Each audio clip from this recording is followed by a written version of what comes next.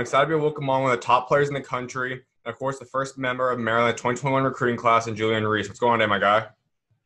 Good.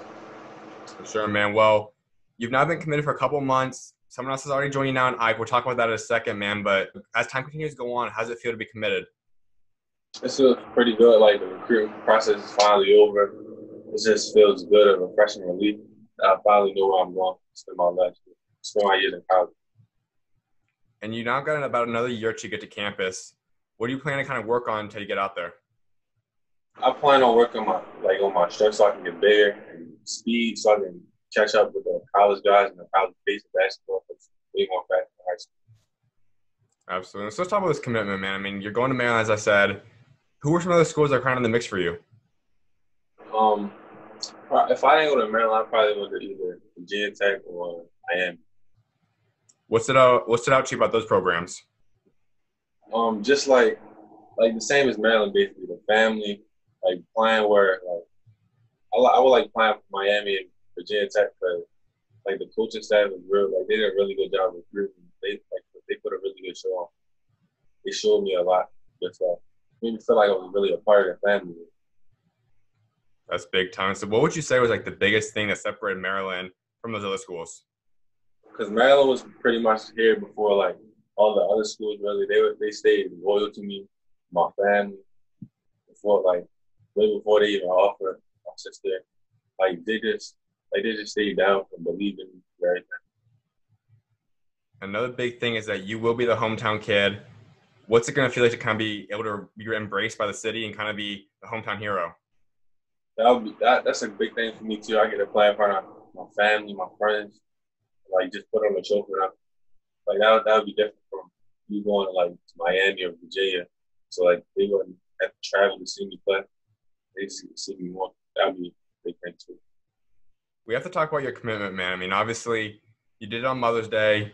You had a nice post about that. Just take us to that whole day and how you kind of set it up to kind of surprise your mom that you're going to go to Maryland. Well, I first like Mother's Day was on Sunday, right? Mm-hmm. told my uh, sister on Thursday before that, and that's when I told her that she, first she didn't believe me. She was really excited about that, and then on the Saturday, the day before, I told all the other coaches like they were texting me like Virginia Tech, UCF, Miami, uh, Marquette, Georgetown. I told them the top schools that I just didn't, wasn't interested in their program. Mm-hmm. And one of them, Virginia Tech, actually told my mother that I wasn't interested. Like they, like she, she was mad. Like, why would you, why would you do that without? Yeah, like why would you do that without talking? Blah blah blah. blah. And that's when I called my my my head coach for basketball at my school. And I told him like to tell the coach not to say nothing because it's like a surprise. And that's when the next day we just did it. And she just was like really excited and asking a lot of questions about it. Like she was just like, shocked. I believe it was something where you obviously had the shirt on, you had the committed on the back. How did you kind of set it up where you were able to kind of surprise her at that moment? Well, my, my, it was basically my sister setting all that up. She got her her coach from her school to make the shirts. I, know, I think I got the shirt. Right. Mm-hmm. Yeah, she got these made so that she can like, I don't know, it's just respark. It's just like the upgrade for the surprise. Like we knew there's a lot of surprises that day because we, we bought a lot of stuff from Mother's Day. So your mom had no idea about it then? No, she didn't know until that day. Did she was she shocked at first then? When she kind of like when it kind of set in for that she realized actually you were going to be going to Maryland? Um, she like we did when we did it like we had a bag. At first, like it was this coffee maker. She wanted flowers, food, and at the bottom it was like a little slip that like it was like a it was a slip, and she had to open it and it said, "I'm going to Maryland." no, no, it was this shirt. Actually, no, no, this shirt was a slip on top of it. It said, "I'm going to Maryland." She looked at it and like she was confused. She didn't know what it was. It said committed. She was like, "Oh," and she was like, she was just really she was shocked. That's So, awesome. yeah, it was, it was a good experience. That's awesome. And obviously your sister as well, five star number two overall ranked player in 2020, also is going to Maryland. Should be able to go together now and attend college for possibly three years together. What will that be like? That would be pretty cool too. Like just have a sister there with me, like to push me through everything. Like especially a big sister. Like inspire me to do more and just be a person I want, like the best player I could be and the best like person I could be. And just keep me focused. Just like another mother there, really. Mm-hmm. At what point would you say it clicked that you know Maryland was the school you wanted to attend? Um, probably like over quarantine, they showed like really like they just like Bino, you know, Coach Bino, he did a really good job of like proving to me like why that school would be worthy of like like me going there and why why that'd be a good fit for me. They just gave me a lot of good examples, like good players like Alex Len, Stix, like all them type players like that played like play like me. Yeah, they just said I'll be the next one for them. You obviously mentioned Stix. He's a guy that runs like your similar position as well. Another guy from the Maryland area. To kind of start this pipeline, if you want to call it, where a lot of guys from your area are obviously going to stay home, go to Maryland. What's it like continuing that? It's it's pretty big. It's a, like a lot of shoes to fill because most of the people from Maryland, Baltimore, they like they played a big role, played really good at Maryland. So like that's that's a lot of pressure for me. But I, I feel like I can fill in those footsteps pretty good. Absolutely. And you obviously talk about Angel. You guys growing up, how does one-on-one games go? How often do you guys play each other? We played each other a lot back then, but I don't like a lot of the games really didn't finish because we used to argue a lot, like just fight throughout the whole game. My mother had to come outside, just end it. Like, we used to have a hoop outside. My mother took it down because like we just like to argue a lot. We were really competitive. We still are, but like she really can't beat me now because I'm just like stronger. Like, mm. She, I would have to shoot all jump shots if I play now. She don't really want to play me no Do you guys ever play with each other, like two on two, with you guys on the same team? Um, yeah. Sometimes at workout we on the same team. Sometimes, because like at workouts we still be like arguing, like because we be going so ahead. Like, and our trainer had to stop it, like put us on the same team or something. Then growing up, was she the first one to start playing basketball, or did you guys kind of play at the same time? Who was kind of the first one to start playing? Um, I think I was the first one. Yeah, I, I was the first one, and then it was like a little rec league, and my sister was like, she wanted to play, and my mother was like, at first my mother asked if it was okay, and I said sure. And she just started killing, like she just started killing the league with me and her on the same team. And they didn't like it, and she got the MVP. I got some other stuff. I forgot what I got. Some other probably rebounding, mm-hmm. something like that. But yeah, she just started killing me. That's when I started noticing like how good she could be because she's so like for female. And so to see her be able to go through her recruiting process, how much kind of that impact your recruitment and what was it kind of like? What kind of tips did she kind of give you as you were going through your process? She didn't really give me no tips. She just like, like told me that like only thing tips she really gave me was everybody that doesn't have your best interest. Some coaches just like want to win. Not all programs want to make the person or player better, a better player. Or like, she, that's how that's how she told me really. But I learned, but I learned through our process that she should you should like pick wisely because like it should you shouldn't really value a whole bunch of schools, but at the end of the day, you can only pick one. Mm-hmm. So you gotta like choose very wisely, especially with all the offers. So, how much of an impact would you say she had on your commitment to Maryland? Um, she wasn't really pressuring me to go to Maryland. Mm-hmm. She just like we just she just like joke like we should come to Maryland, like just stuff like that. She wasn't really pressuring me. She knew I would like choose my decision for me. But she just she just thought it would be fun if I came there, or that would be a plus if I came there. Gotcha. And growing up, I never like asking this question. Tell you guys obviously commit, but growing up, was Maryland your favorite team, or who was kind of your dream school, your favorite team growing up?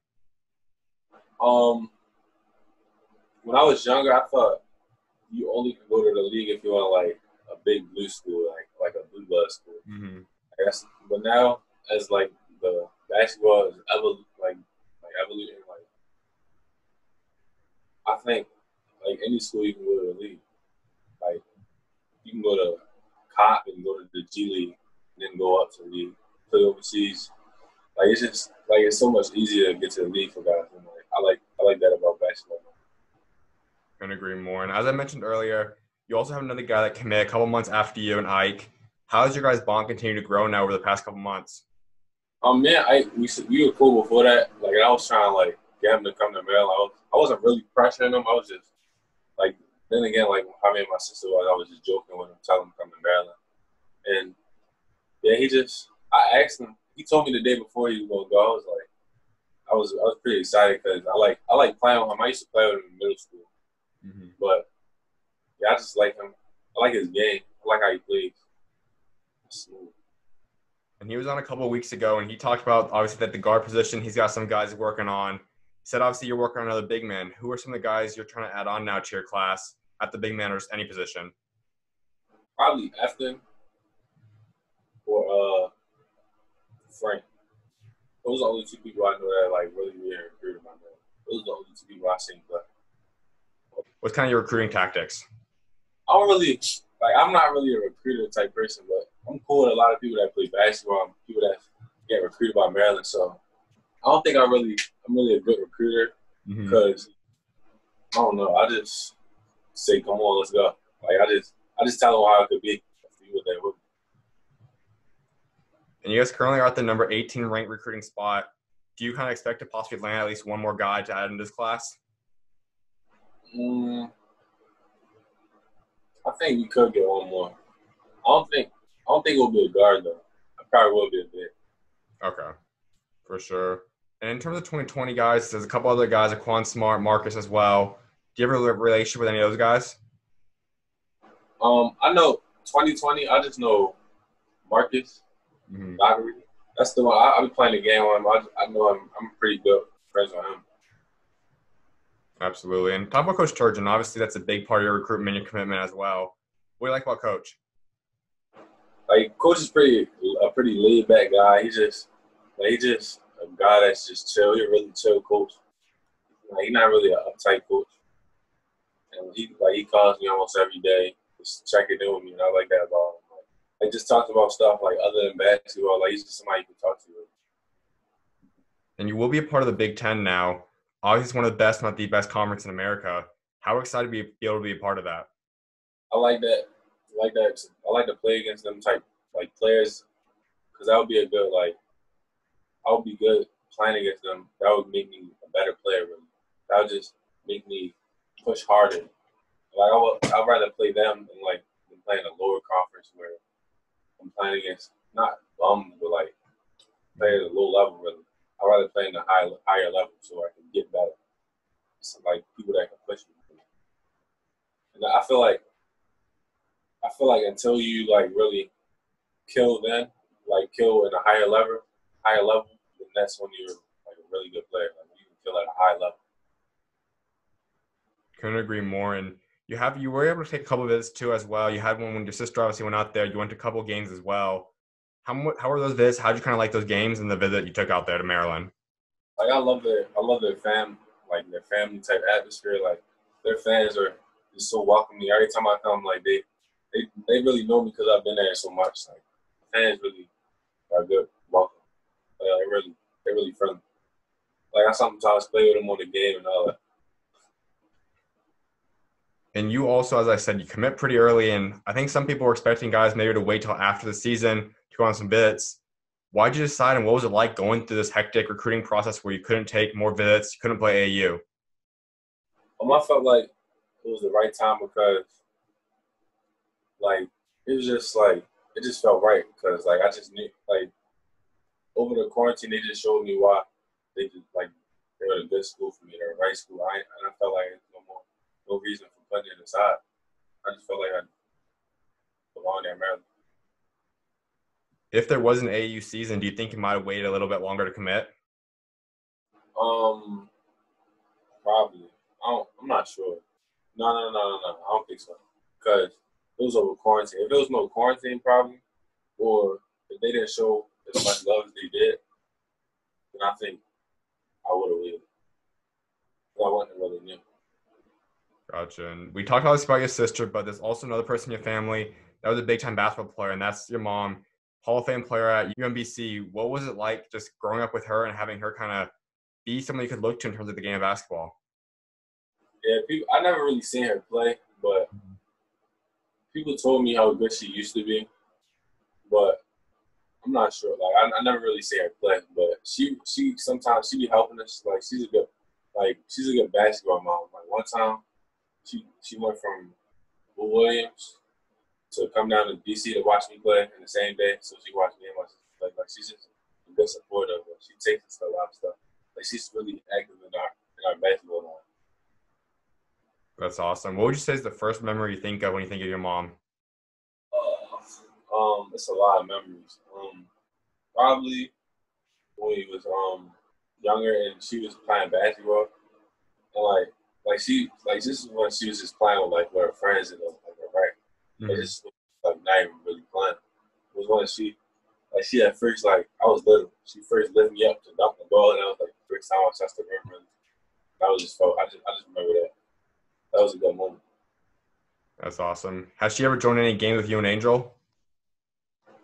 Um, sometimes she does when she sees us. Like she just shoots the ball, like mm-hmm. like she's that old jump shot, like that like that weird jump shot. She just shoots that, like she just she don't really play very hard. I never see her play hard against her. And so let's talk about your high school career. I mean, you started off at Newtown.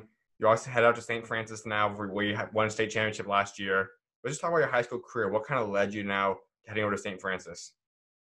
Um, like I said before, like St. Francis has like better competition. Like we're on a national schedule. Mm-hmm. And Newtown is just like in the county. Like they they play pretty good teams. Like like Dulaney Ryan, another school with and um Wise. I forgot the guy's name on Wise. Yeah, we played pretty good teams on there, but I feel like every game, like every out of town game with St. Francis is, is going to be a good game. It's not going to be really a loss and you go out there and you guys go 38 and 4 you win the championship you average almost a double double take us through last year what was it like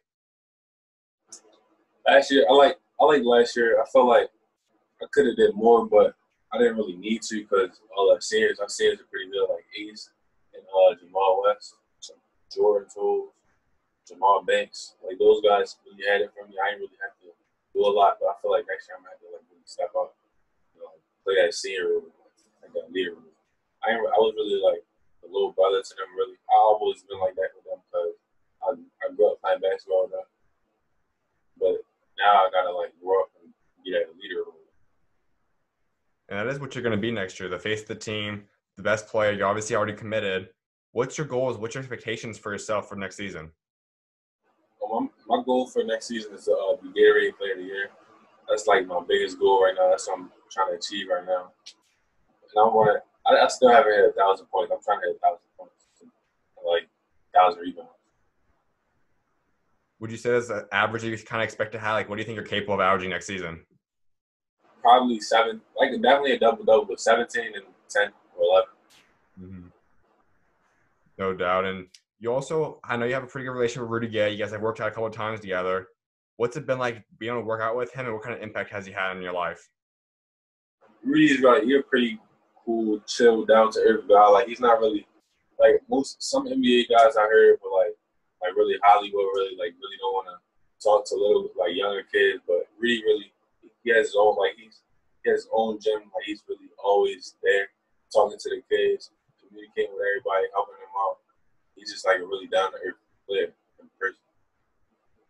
And there are a couple other guys from the DMV area that obviously are in the NBA but now we see this younger guys, you alongside a guy like Ike. We see a lot of just big time guys that around that area that are big time DMV players.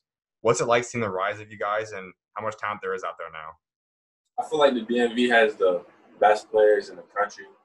That's like that's really my opinion. But like I, I like how we're getting the recognition recognition we finally deserve, and I feel like basketball is just going to keep going up from now because we're getting this recognition.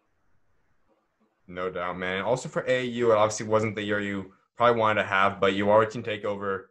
What was it like? Why'd you choose them, and how excited you to go out there and start playing whenever you can? Well, I was, I probably was gonna play with. Uh, I was very play with Durant, but like I didn't like the position they had me in. So I, I, wanted to play EYBL because the first year I played Adidas, second my second year I played Under Armour. So last year I had to play EYBL. So I want I was ready to play with Durant, but I didn't like the position they were putting me in. Like they had a lot of talent on that team. I really wanted to play against them. Really. So I, I just chose Takeover because they want they were recruiting me.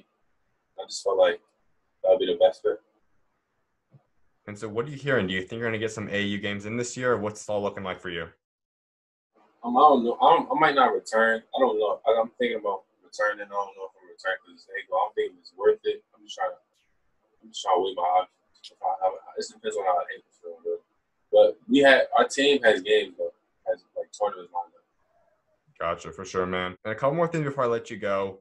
One is talking about your legacy. That's something I was like wrapping up with. And by the time you're done playing basketball, what do you want your legacy to be for what you achieve both on the court as well as off of it? I want to have a more of an impact on off the game and on the court. Like as much as like like the greatest player and the greatest impact on the court. Like some of the guys, like LeBron, Jordan, Kobe, they have a like good like LeBron's a more of an impact off the court than them guys. I want to be like like LeBron, like like put money in the communities, in the poverty, poor people. Like I I like to impact the game and like off the court. Really, like that's my main focus. Really, I really like to impact off. Like one of the greats.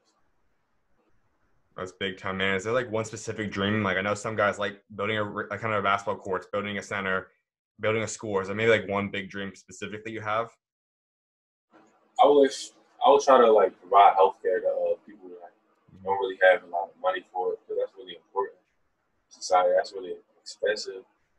I like to, and I like to put like kids in schools, set up recreation centers, like especially in Baltimore because there's a lot of gang activity and killings around here. And I like to do that. And how did you kind of adjust to growing up in that environment? Well, I didn't really. I grew up in the county, but mm-hmm. I played basketball in the inner city. So like like riding in practice, hearing gunshots, practicing hearing gunshots. I just at first I was really scared because I'm like a county kid really, but then I just adjusted to it and I just cope with it. Like I just cope with people. Like a lot of people that I know, a couple people that I know like really died because of that. And I like it just it affected me kind of. I just like now it's it's just regular. You just gotta deal with it. Like. Gotcha. And my final thing before I let you go is give me your three biggest goals you have for yourself for your Maryland career. Um, national championship. Um, average triple double for my whole Maryland career. No, not triple double, double double my whole Maryland career. And I like to I like to interact with the fans a little bit more than like the previous players do, like just off the court. Like yeah, just off the court. Like when we like when I go to Maryland, I'm probably going. to like this is gonna be the year 2021. That's gonna be the college players get big. I'm mm-hmm. probably gonna try to come out of there with like six figures. That's that's a good that's a great one. Absolutely, man. Well, I definitely appreciate you taking time to come on again, my guy, and look forward to seeing what God's got next for you, bro. Okay, thank you. Of course, man. You're all welcome, man. God bless. God bless you too, bro.